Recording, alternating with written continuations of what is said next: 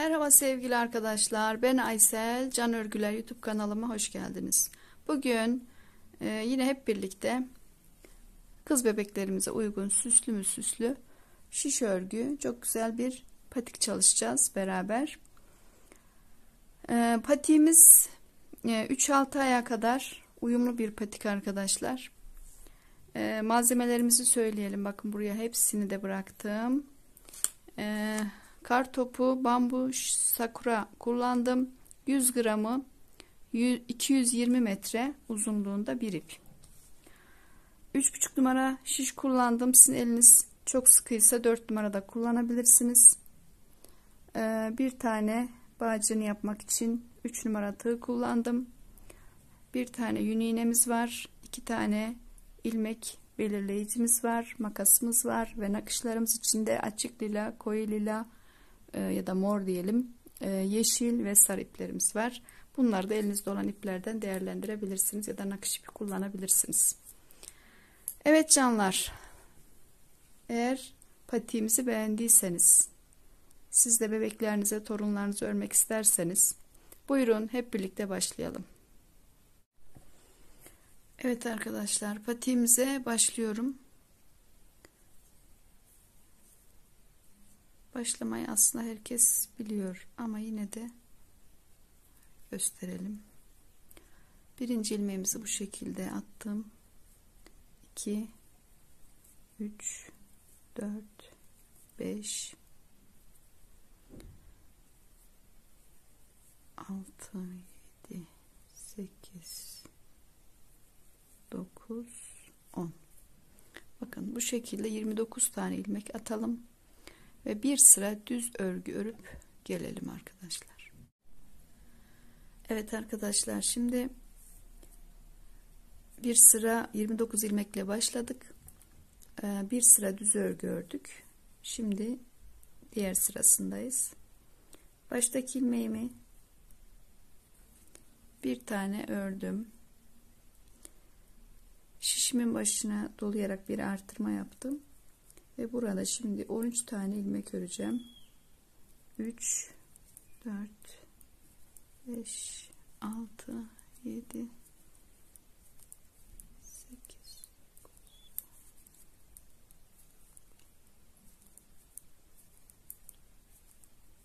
13 Şimdi tam ortası burası patiğimizin. Şuradan gösterelim. Şurası arkadaşlar. Şişimin başını e, ip atarak bir tane artırdım. Bir tane ördüm. Tekrar doladım şişime ve yine 13 tane ilmek örüyorum düz örgü olarak.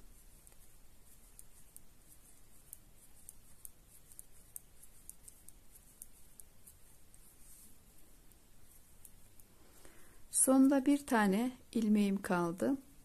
Yine başını dolayarak bir tane daha ördüm. Aslında bu patiği daha önce de anlatmıştım arkadaşlar ama çok aşağılarda kalmış. Ben de bunu sipariş örerken sizlere tekrar sayıları değişik tekrar anlatayım istedim. Şimdi örgümüzün ters tarafındayız. Baştaki ilmeğimi boş olarak alıyorum. Artırdığım ilmeğimi düz örüyorum. Bu e, alt kısmını önden ve arkadan düz öreceğiz haroşa örgü olacak yani. Bu arkadaki sıramızın tamamını düz örgü olarak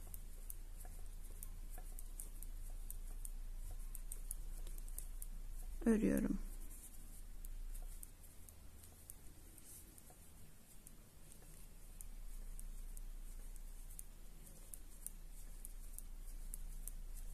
İkinci sırasında gösterelim. Ondan sonra zaten anlaşılır e, gösterdiğim artırmalar. Ona göre devam ederiz. Şimdi örgümüzün düz yönündeyiz. Baştaki ilmeğimi yine e, boşaldım. Yanındaki ilmeği ördüm. Yani alttaki bakın şöyle görürseniz alttaki artırdığım ilmek bu. Ördüm. Şimdi iki taneden sonra başına tekrar dolayarak bir artırma daha yaptım. Yine artırdığım ilmeğin artırdığım ilmeğe gelene kadar örüyorum. önden ve arkadan düz örgü örüyorum. Bakın. Artırdığım ilmeğe geldim. Ondan bir önce artırıyorum ve 3 tane ilmek örüyorum. Tekrar artırıyorum ve sondaki artırdığım ilmeğe gelene kadar yine örmeye devam ediyorum ikinci artırmamız oldu bu. Bakın. Sonda iki ilmeğim kaldı. Buradaki artırdığım ilmekti. Onun önünden artırdım ve iki tane ördüm. Şöyle gösterecek olursam burası V şeklinde açılacak. Burası bu şekilde açılacak. Burası da böyle açılacak arkadaşlar. Şuradan gösterelim. Bakın. Burası burun kısmı burası arka kısmı. Tabanımızı bu şekilde yapacağız. Şimdi arkadan yine düz öreceğiz. Her zaman arkadan düz öreceğiz bu ıı, taban kısmında. Bir dahaki sıraya geldiğimizde bu sefer 3 tane örüp bir tane artıracağız. Bakın şu artırdığımızı da örüp artıracağız. Yine ortaya geldiğimizde artırdığımız ilmeğin bir önünden ve bu sefer 3 3 örmüştük. Sonra 5 öreceğiz. Artıracağız sağından ve solundan. Yine sondan 3 ilmek gelene kadar öreceğiz. Tekrar artıracağız. Yani bu şekilde şu ajurlardan 5 tane olana kadar örelim. Taban kısmımızı tamamlayıp gelelim arkadaşlar. Evet canlar. Tabanımı hazırladım. Yani tabanımın şöyle göstereyim. Şu şekilde olacak bakın diktiğimizde şu uçlarında dikeceğiz.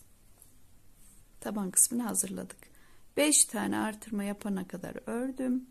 Şimdi de haroşa örgü olarak bakın artırmadan sonra şuradaki en son artırmamız burada.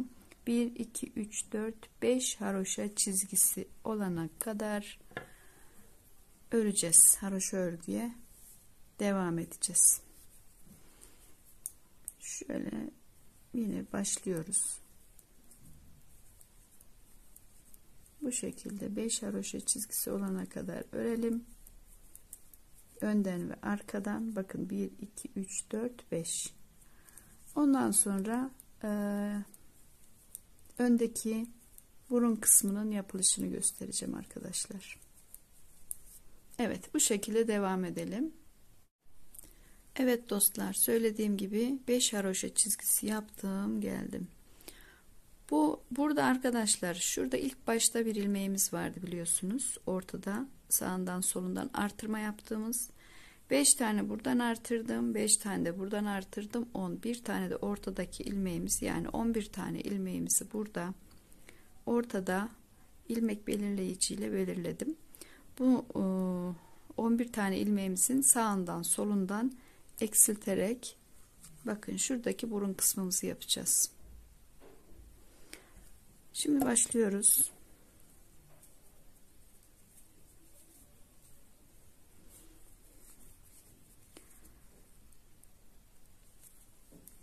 Baştaki ilmeği her zaman ben boşalıyorum ve kenarını lütfen dikkat edelim arkadaşlar. Bunu daha önceki videolarımda da çok gösterdim. Şu kenarlarımız böyle diş diş olsun. Onu da nasıl yapıyoruz?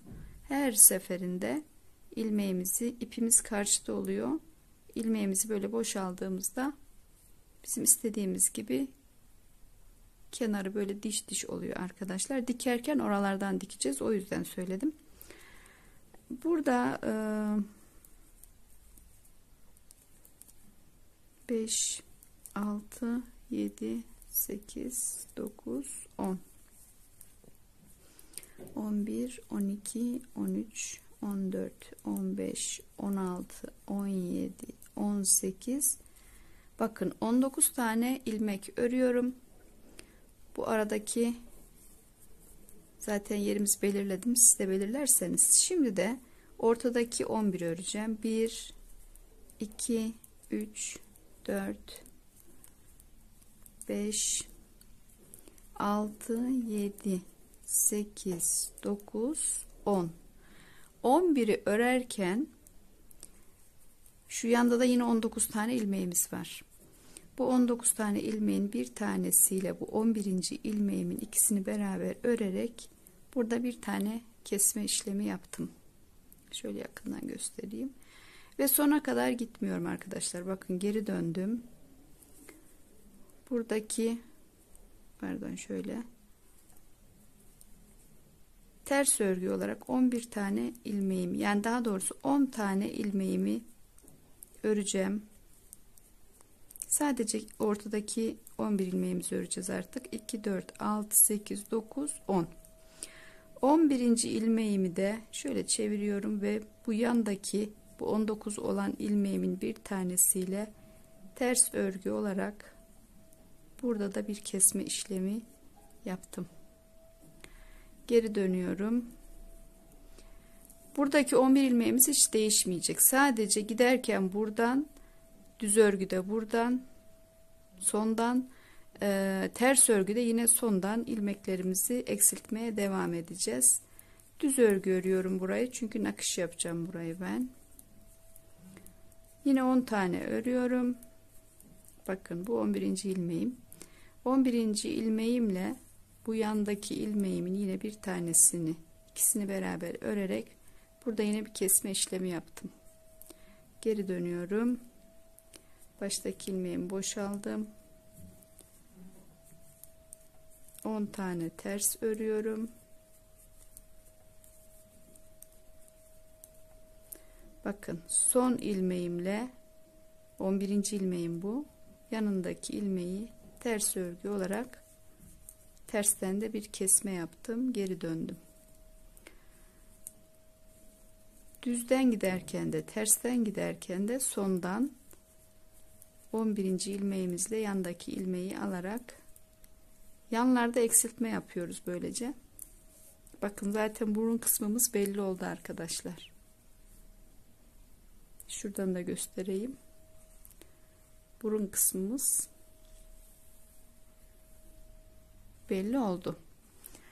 Buna devam edeceğiz dostlar. Ee, şu sondaki ilmeklerim 12 tane kalana kadar bu şekilde devam edeceğim. Her iki tarafta da 12 tane ilmek kalacak. Ona dikkat edelim. Ben e, çok uzun sürmesin videomuz bu şekilde devam edeyim. Tekrar geliyorum. Evet arkadaşlar şimdi sonlarda başta ve sonda 12 tane yanlarda ilmeğim kaldı. En son kesme işlemimi tersten yaptım. Çünkü ilkini önden yapmıştık düz tarafından. Şimdi tekrar geri dönüyorum. Buradaki ilmeğimi yine boşalarak sona kadar gideceğim. Çünkü ilk, ilk kesme işleminde buraya kadar gelip geri dönmüştük. O yüzden şimdi en son kestikten sonra ters tarafından düz tarafından sonuna kadar geliyorum. Ve şimdi yine hep düz örgü öreceğiz. Haroşa örgü öreceğiz.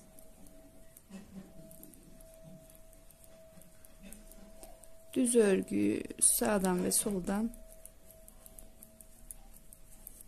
bu düz ördüğümüz yeri de yine düz örüyoruz arkadaşlar. Yine haroşa örgü yapacağız burada. Şuradan göstereceğim tekrar size. Bakınız. Düz örgüm bittikten sonra şurada 3 tane haroşa çizgisi yapacağım. Ve daha sonra bu ipi geçirdiğim, bağcığı geçirdiğim yeri yapacağız. 3 haroşa çizgisi olduktan sonra tekrar bağcık yapma yerimine geleceğiz.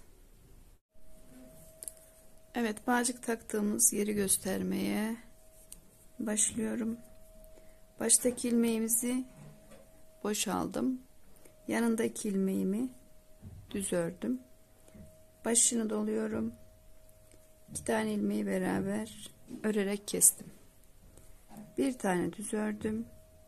Artırdım. Artırdığımın yanındaki iki ilmeği beraber örerek kestim. Bir tane düz ördüm. Artırdım. Yanındaki iki ilmeği. Beraber örerek kestim. Örüyorum artırıyorum. Kesiyorum. Örüyorum artırıyorum. Kesiyorum örüyorum artırıyorum kesiyorum. Bu sıramızı bu şekilde devam edelim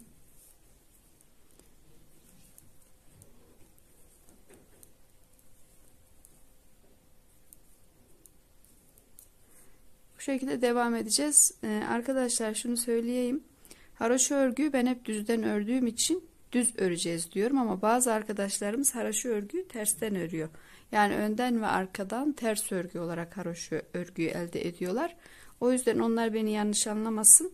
Onlar kendi e, el ayarlarına göre ters örüyorlarsa ters örebilirler tabii ki. Tekrar artırdım. Kestim, ördüm, artırdım. Kestim, ördüm, artırdım. Kestim, ördüm, arttırdım, kestim. İki ilmeği beraber ördüm ve sondaki ilmeğimi de örerek bu sırayı tamamladım. Şimdi arkadan hep ters öreceğiz. Bakın. Burada yine 3 sıra daha haroşa çizgisi yapacağız. Yani yine 3 çizgi yaptıktan sonra 3 haroşa çizgisi yaptıktan sonra tekrar yukarısını göstereceğim. Evet arkadaşlar bakın şimdi burada düz örgümüz var. 3 haroşa çizgisi yaptım bu bağcık yerinden sonra az önceki videoda e, arkadan ters öreceğim demişim ama arkadan düz örecektik arkadaşlar onu kusuruma bakmayın yani ters de örseniz sıkıntı olmaz tabii ki ama e, ters öreceğim demişim. Normalde haroşa öreceğiz yani. Haroşayı siz nasıl örüyorsanız öyle öreceğiz. Şimdi de burada kıvrılan bölümü yapacağım. Bakın şurada 1 2 3 haroşa çizgimi yaptım ben. Burada kaç sıra yapmışım? Şu tersten sayarsak daha iyi olur. 2 4 6. sırada kesmişim. Bakın 1 2 3 4 5 6 burada 7. sırada görünüyor. Şöyle sayarsak 2 4 6. sırada kesme işlemini yapmışım. Düz öreceğiz. Önden düz arkadan ters. Hiç kesme artırma yapmıyoruz. Sadece şu ar arkadaki bu diş diş olan yerimize dikkat edelim. Düz örgü öreceğiz. Örgümün düz tarafındayım. Örgümün düzünden düz tersinden ters örerek 6 sıra ördükten sonra 6. sırada kesme işlemi yapmışım. Bu e, küçük bir patik siz büyük örerseniz tabii ki daha da büyük yapabilirsiniz ya da daha fazla kıvrılmasını istiyorsanız öyle de yapabilirsiniz şurada bir şey göstermek istiyorum o yüzden örüyorum şu son tarafta diş diş yapmamız için e, nasıl ördüğümü tekrar göstermek istiyorum. Bu düz tarafta da aynısını yapacağız çünkü. Bakın. Burayı düz ördüm. Geri döndüm. İpimi karşıya geçiriyorum ve bu şekilde yine pardon burada ters öreceğiz. Artık ters ters de ters düzde düz öreceğiz. Ee, ters öreceğiz ama bu ters örgünün en sonundaki ilmeği ben düz öreceğim yine göstereyim yine de yani örgüyü bilen arkadaşlarımız ıı, zaten benim söylememe gerek yok onlar biliyorlardır ama örgüye yeni başlayan arkadaşlarımız bazen anlayamayabiliyorlar Şimdi ters örgüde böyle ters örerken en son ilmeğimi düz örüyorum. Bu köşedeki bakın görüntüyü. Şimdi ipimi yine karşıya aldım. Düz örgüme devam ediyorum. Umarım anlaşılmıştır. Anlatabilmişimdir. Bu şekilde 6 sıra sonra kesiyoruz ve patiğimizi bitiriyoruz. Evet canlar düz örgümü ördüm. Ee, burada şeyde e, tam doğru sayamadım galiba arkadaşlar. Şuradan tekrar sayalım bakın. 1 2 3 4 5 6 tane görüyoruz. Şimdi kesme işlemi yapacağım. Kapatma işlemi yapacağım. Kapatma işlemini ben nasıl yapıyorum? Baştaki ilmeğimi boşaldım. Yanındaki ilmeği örüp baştaki ilmeğimin içinden çıkartıyorum. Kesme işlemini bu şekilde yapıyorum. Çok sıkı yapmayın burayı.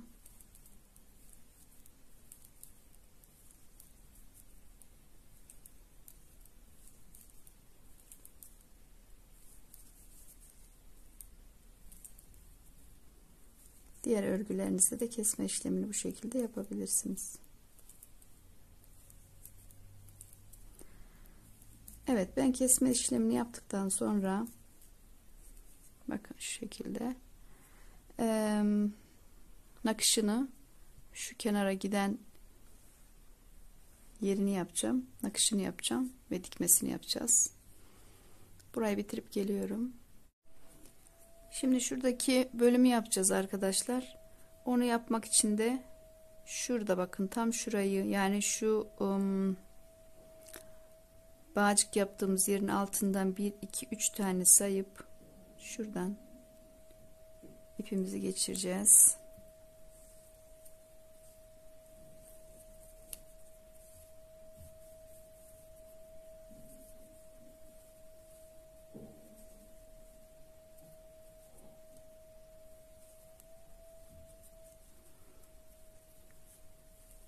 İpimizi altın alta alıyoruz. Bakın kaydırma yapacağız burada. Alttaki ipimizi alıp içinden çıkartıyoruz. Pardon bu ipimin biraz katı açılıyor.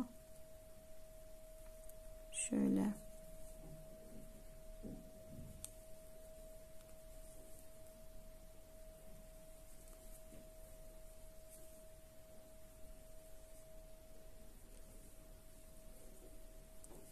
tane haroşanın arasından böyle kaydırma yapacağız. Burayı çok sıkı yapmayalım yine.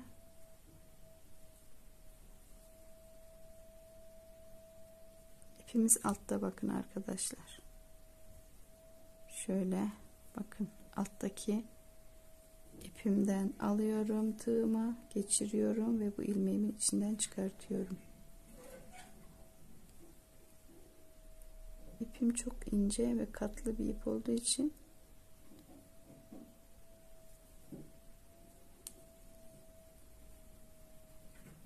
şöyle iki haroşanın arasından girerek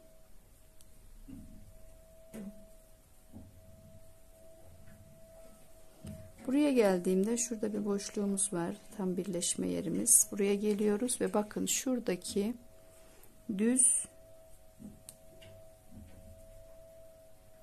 kestiğimiz ilmeğimiz var arkadaşlar. O kestiğimiz ilmekten dönüyoruz.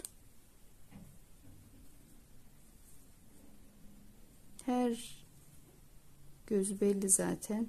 Oraya batıyoruz.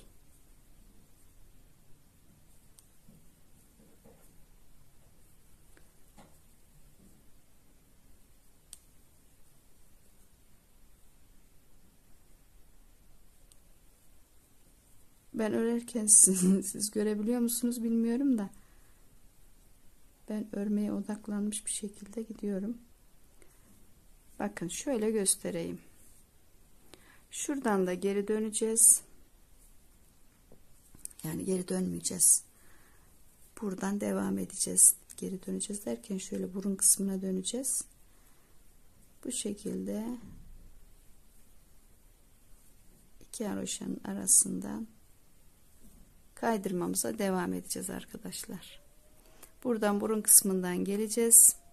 Yine buradan şuradan şöyle burada bitireceğiz. Evet burayı da yaptıktan sonra nakış kısmına geçebiliriz. Dikmeden yapıyoruz bunları. Çünkü diktiğimizde çok zor olur. Bu şekilde size tamamlayın. Tekrar nakış bölümünde görüşelim.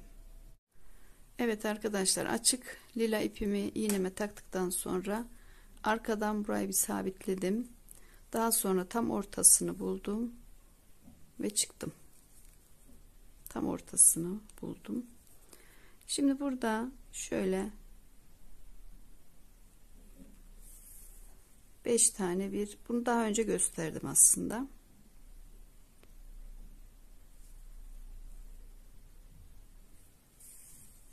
Şöyle.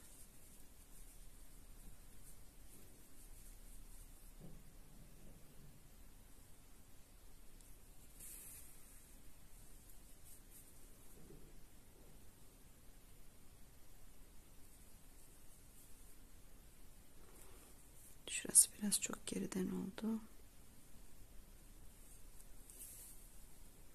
Geri geçtim bu tarafa. Şöyle.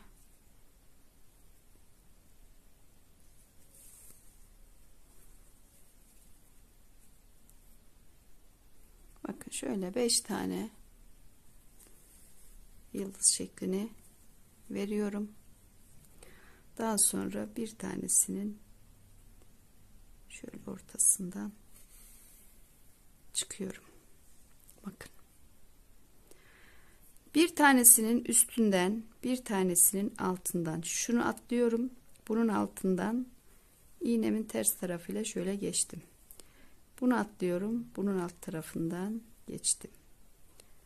Yani bunun üstü oluyor. Bunun şimdi altına geçiyoruz. Bakın. Bu şekilde döne döne bir tane atlayıp diğerinin altından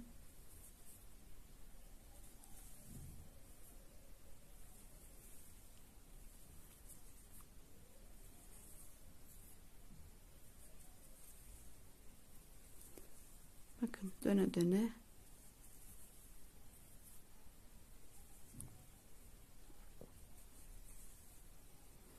iğnenin tersiyle yaparsanız daha iyi olur.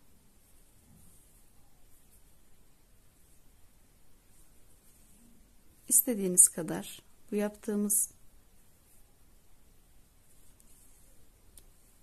yıldız şekli verdiğimiz yerler kapanana kadar yapalım.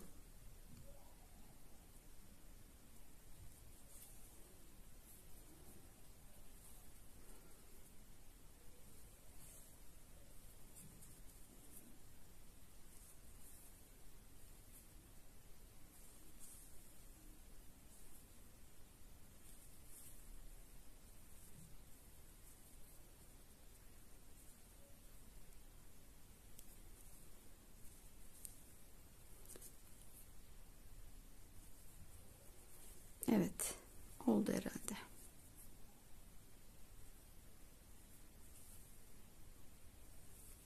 Bakın.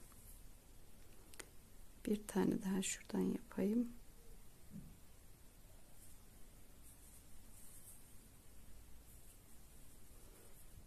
Şunun dibine şöyle alttan geçiyorum.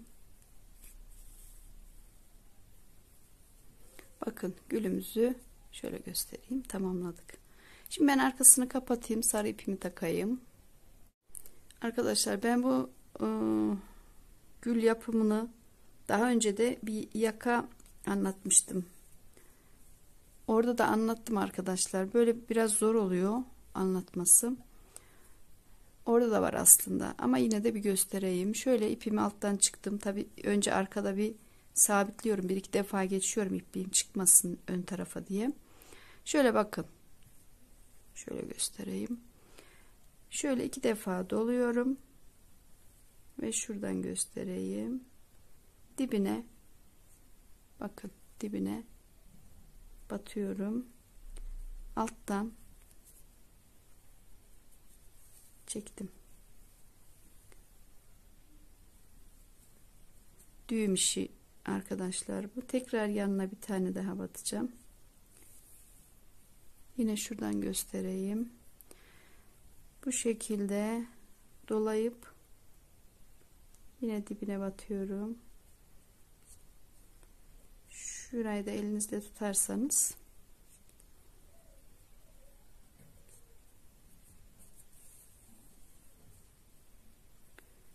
bakın iki oldu. Bir tane daha yapacağım. Yine şuradan dibinden çıkıyorum. Şöyle yine gösterelim.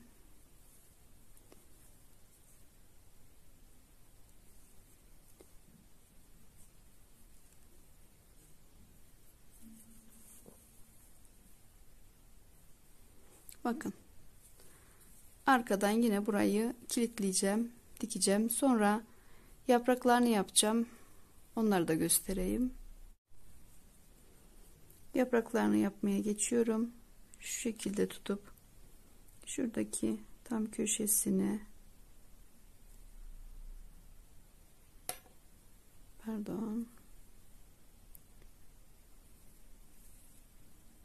köşeden çıktım. Dibine batıyorum yine aynı yerin. Birazcık ilerisine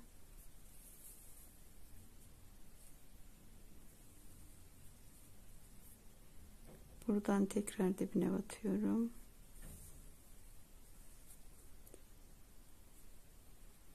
Çok defa gösterdim arkadaşlar. Nakış videolarım da var benim youtube kanalımda. Youtube kanalımı görmeyen ya da ilk defa gören arkadaşlarımız var ise video 200'den fazla videom var. Bakın. Şimdi de şu köşeye geliyorum nakış videoları tunus işi tığ işi motif işi yani ne isterseniz kanalımdan hepsini bulabilirsiniz. Burada bir tane yapacağım. Şöyle. İğnemin altından geçirdim. Şuraya batıyorum. Bu sefer diğer köşeye geldim. Bakın yani istediğiniz videolar izleyebilirsiniz. Canlar. Yeni keşfeden arkadaşlarım varsa beni. Bebek örgüleri. Ne adına her şeyi bulabilirsiniz. Yelek patik hırka şapka kaşkol. Bunu da yaptım. Şöyle batıyorum. Buradan tekrar çıkıyorum. Burada bir tane küçük yapacağım. Tek yapacağım yani. Evet bakın. Nakışımız da bu şekilde alta geçiyorum ve alttan ipimi kilitliyorum ve diken aşamasına geçiyoruz.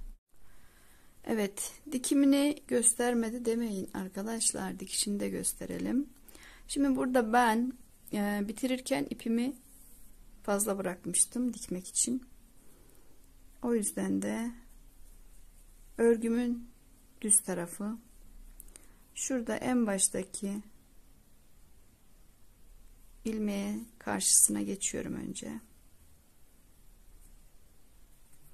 Tekrar yine aynı yere geçiyorum. Burayı bir iki defa geçmek istiyorum. Şey olsun sağlam olsun diye. Aynı yere tekrar geçtik. Şimdi bakın bu diş diş demek istediğim yeri burada anlatmak istiyorum. Bakın şurada buraya geçtim. Karşıda bakın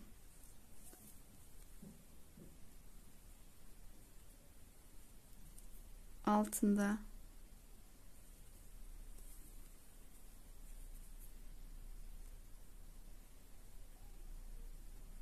karşılıklı birbirinin içinden geçerek dikeceğiz.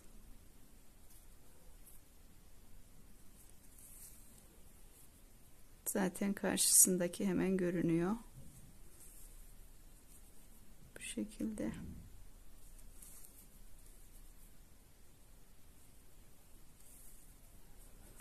Hem arkada kalın bir potluk olmuyor arkadaşlar. Hem de dışından da çok güzel bir görüntü oluyor.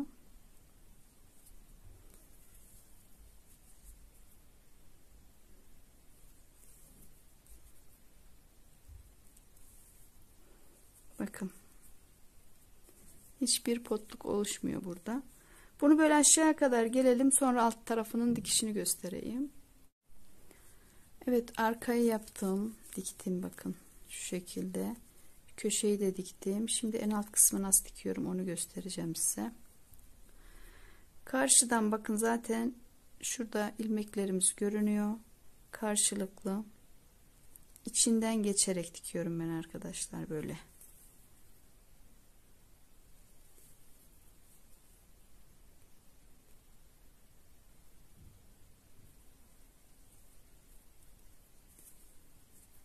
Şekilde tam karşısına. Niye öyle yapıyorum? Birebir dikiyorum çünkü e, bebeklerimizin ayak tabanlarının altını batmasın diye. Çocuklar ayağa kaldırdığımızda falan ayağına rahatsızlık vermesin diye böyle düz bir dikiş yapıyorum. Evet bu şekilde alt tabanını da dikebilirsiniz. Evet arkadaşlar şimdi her yerini gösterdiniz bağcığını da gösterin diyeceksiniz bana eminim. Bağcığını da defalarca gösterdim aslında aşağıdaki videolarıma bakarsanız ama burada da gösterelim. Tamamını anlatmış olalım. Şimdi böyle bayağı bir bırakıyorum ben. Yani zincirime karşılık gelecek şekilde. Şöyle bakın. ipimi doladığım yer bu tarafta. Bıraktığım yerde bu tarafta. Önce bir tane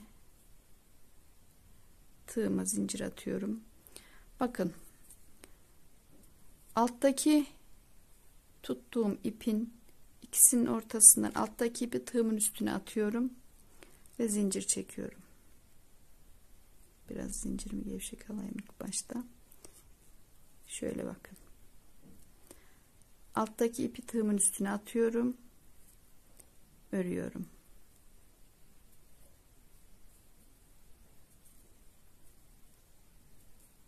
Şöyle atıyorum.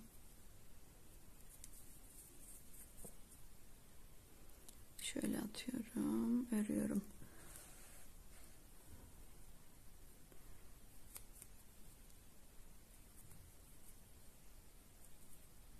alttaki ipimi tığımın üstüne attım ve ördüm.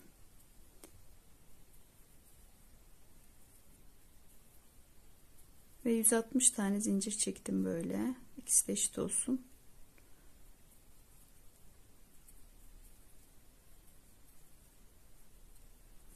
Bakın şöyle de göstereyim. Bu şekilde 160 tane zincir çekelim. Daha sonra da patiğimizi tamamlayalım. Evet. Bağcığımı tamamladım. Gördüğünüz gibi. Şimdi bakın şu tam ortadaki olan yerden arkasına geçiyorum. Bunu çatal iğneyle de yapabilirsiniz ama parmağınızla da gayet rahat geçiyor arkadaşlar uğraşmanıza gerek yok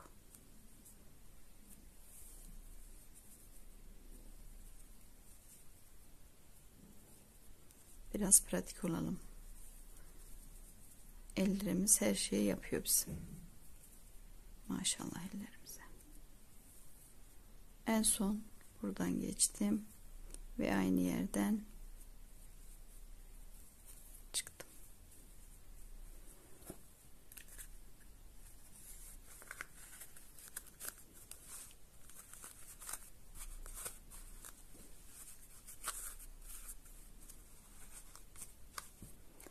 Evet. Bağcığımızı da tamamladık. Şöyle bir tane ben düğüm atıyorum. Şöyle bir de fiyonk yapıyorum. Evet. Gördüğünüz gibi patiğimiz hazır. Evet sevgili arkadaşlar patiğimizi gördüğünüz gibi tamamladık. Bu patiğimiz 3-6 aya kadar rahatlıkla olur. Ee, şiş örgüyle yaptık. Yumuşak olduğu için esniyor çünkü. Şiş örgü olduğu için tığ örgü olsa biraz daha sert oluyor. Evet canlar siz de benimle beraber e, örmek isterseniz bu videoyu baştan sona kadar izleyerek örebilirsiniz. Kanalıma abone değilseniz abone olarak destek olabilirsiniz. Beğeni ve yorum yapabilirsiniz. Sosyal medya hesaplarınızda da bu videomu paylaşarak e, daha çok kişinin görüp örmesini sağlayabilirsiniz. Bana da destek olmuş olursunuz. Bundan sonraki videolarda tekrar görüşmek üzere. Hoşçakalın, sevgiyle kalın.